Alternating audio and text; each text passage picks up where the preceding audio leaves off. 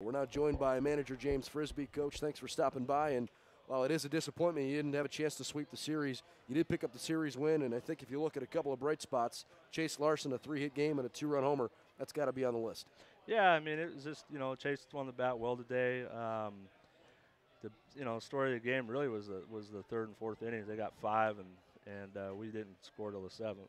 So we fought at the end. Um, their guy threw a really good game against us. I felt like we were um, not really ourselves at the plate. I think we were a little bit maybe too aggressive in the middle innings, swinging a lot of first pitches and just a lot of early counts, and didn't really feel like we uh, really got in a rhythm until about the seventh inning, and then we kind of got a little bit of momentum. And from what from what I've seen of our club so far, the three games I've been here, it's a momentum team, and we get guys on base, we run a little bit, do some things. Um, I think that's our key.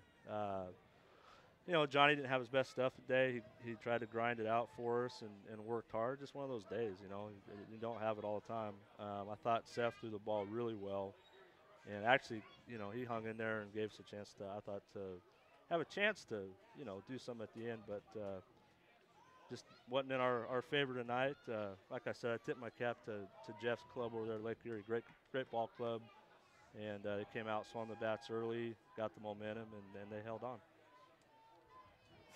Now, one thing you touched on there briefly, and, and in last night especially, and in this one here, you know, down seven nothing, you come in and get uh, four runs for the last three innings. As a manager of a new uh, a new manager to the club, you really, I would think that you'd have to like the uh, the fight that this team just kind of goes uh, right to the end of the ball game, no matter what.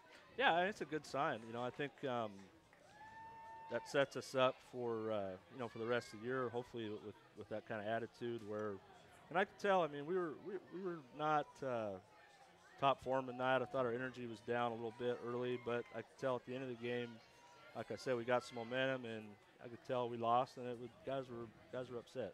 You know, a couple guys in the dugout. You know, I knew were took it. You know, they hey they want to they want to get this thing turned around. So, um, but hey, we won the series. Have a day off tomorrow. Get on the bus. Uh, go to River City and and uh, early game Tuesday, and hopefully we can uh, go in there and play well those three games.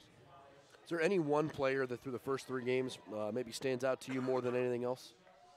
I, you know, I, I think um, I think one guy that's that's uh, offensively really important is Jeremy because um, he's a veteran hitter and he's got a good approach, and I think he's I think that the more that guys are around him uh, offensively, they're going to feed on that a little bit. Um, I think uh, I think Michael's starting to uh, show what he can do, and Michael's going to be really really big for us. Um, a little concerned about uh, some injuries. You know, we had we had uh, Gabe go down last night, and, and, I don't I don't see him playing for you know for a week probably with his with his his uh, finger and I don't think there's anything broke. It's just some ligaments, and but uh, you know, I biggest thing is I think he can catch, but he, I don't think he's gonna be able to swing the bat for a little bit. So I've got I got con- some concerns with that a little bit, and and uh, overall health.